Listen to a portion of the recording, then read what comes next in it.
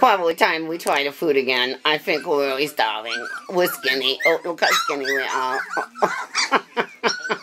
Mama's outside. She'll come in and give the milk in a minute. She'll come in and give the milk and get her breakfast. Yes. Now we'll make her some eggs.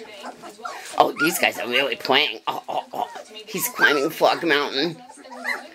King of Frog Mountain. Oop, we slid off the side.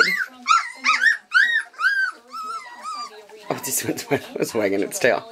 oh, and it gets only gets funner from here. They get cuter and cuter every day.